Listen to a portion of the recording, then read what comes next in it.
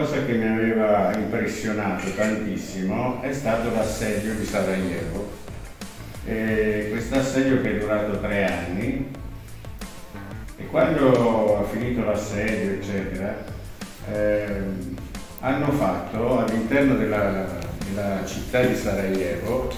hanno fatto una, installazione diciamo, che percorreva tutta la via principale di Sarajevo, la piazza principale, riportando 11.541 sedie rosse vuote.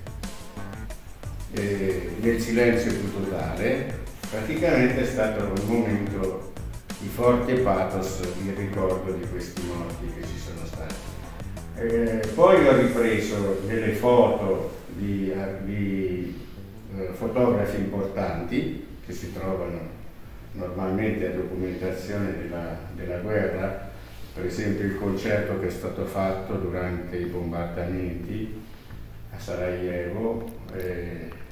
i cimiteri che hanno costruito sulle colline dove ci sono semplicemente i morti non sono sotto lì ma sono dentro delle fosse comuni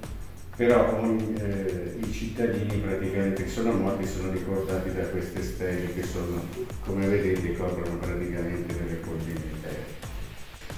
E quindi ecco, questo io sono molto contento che la sede Ampi di Fermo eh, sia, prenda in carico questa, questa storia, no? che poi secondo me è ora che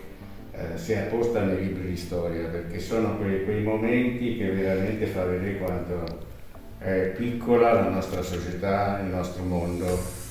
eh, quindi il problema dei bambini, degli anziani, di queste persone che non si possono difendere in una guerra. I giovani bene o male hanno un'arma, quindi possono morire o campare, ma c'è questa difesa del territorio, invece le mamme, i bambini, gli anziani sono quelle che di solito sono più colpite.